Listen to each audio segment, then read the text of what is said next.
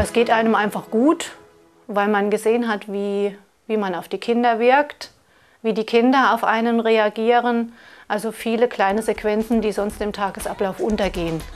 Das ist das Platzett von Sabine Bickel über ihre Erfahrungen mit Martemeo, der ressourcenorientierten Entwicklungsmethode von Maria Arz. Martemeo bedeutet aus eigener Kraft. Maria Arz kommt aus Holland und ist davon überzeugt, dass in jedem Menschen viele Kräfte stecken. Energieströme nennt sie das.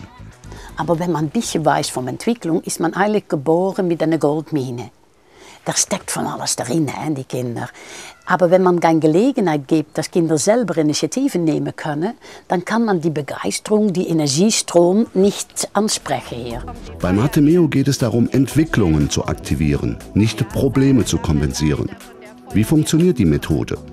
Mit einer einfachen Videokamera werden zunächst Alltagssituationen oder pädagogische Interaktionen aufgenommen. Das ist in jedem Bereich möglich, in dem sich Menschen begegnen, handeln oder kommunizieren.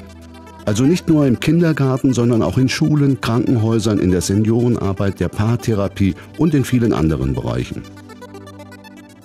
Wir zeigen erst, was schon da ist und feiern das, um Energie aufzubauen. Das braucht man für neue Entwicklungsprozesse. Im zweiten Schritt, dem sogenannten Review, werden dann einzelne Sequenzen ausgewertet, und zwar unter Mitwirkung einer ausgebildeten Martemeo-Fachkraft. Dabei wird ganz genau hingeschaut und nach den Entwicklungspotenzialen der beobachteten Person gesucht.